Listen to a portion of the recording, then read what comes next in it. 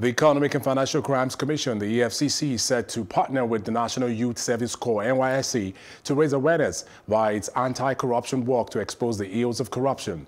Speaking at the press briefing in Abuja, the acting chairman of the EFCC, Ibrahim Magu, said the objective of the work is also to encourage Nigerian youths to shun corrupt practices. Magu said the exercise tagged Nigerian Youth's Walk Against Corruption will be held in collaboration with the Ministry of Youth and Sports Development and the National Youth Service Corps, NYSC. The objective of the work are multifarious.